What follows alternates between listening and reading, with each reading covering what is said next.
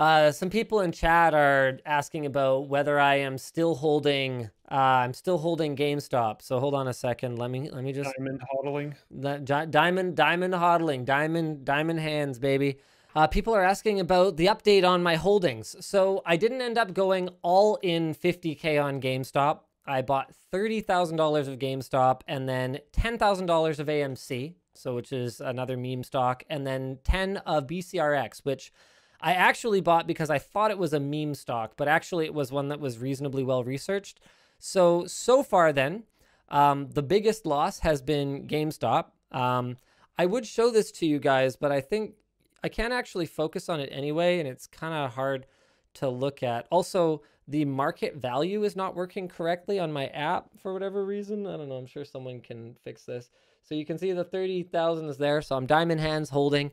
I told you guys that I'm going to ride it into the ground. So, um, you know, for me, it was not about thinking that I was going to be getting rich quick or anything like that. Frankly, I, I didn't need to gamble the money. Um, you know, I actually have a job where I make really good money. So I, I, I didn't need like a, like a, an investment lottery ticket uh, effectively. Yeah, For me, this yeah. was more about the movement that was happening, being on the right side of history at this time. I really do believe wealth inequality is the biggest problem facing us as a society right now.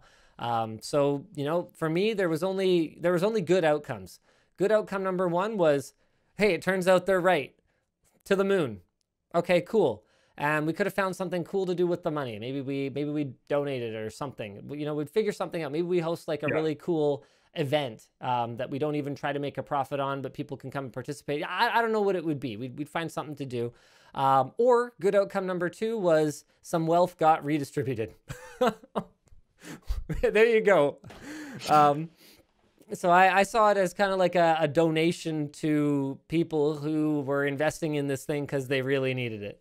Uh, and you know what? Maybe it ended up going to the hedge funds anyway. I don't know, but one way or another, I I I felt fun. I don't know. I felt compelled. I felt like I needed to participate. I enjoyed the memes. Uh, people are like, "Wife talk, please." Okay, so she wasn't thrilled with me doing it without talking to her. But the reality of it is that, um, you know, once we talked about what I was doing and that I, I wasn't just like going crazy and buying into some get rich quick scheme, um, she facilitated getting the account all set up. She got me the credentials. She uh, helped me through the whole process because transferring money from one bank to another is not always something you can do electronically. So she's like, yeah, okay. She made she watched the kids for me while I went and got the checks from the office and went to the bank and deposited it and like helped me get it all going. She she put time aside to help with it because like we're we're good. Like I, I we joke a lot about you know, oh, you know, what has he done now? You know, she might be mad. Ha ha ha ha ha. I, My I girlfriend really liked the sleeping on the couch tweet that you made. Yeah, yeah. I was yeah. obviously joking. I have never slept on the couch in my entire 15 year relationship with that lady, and neither has she. We have a hard and fast rule you do not go to bed angry.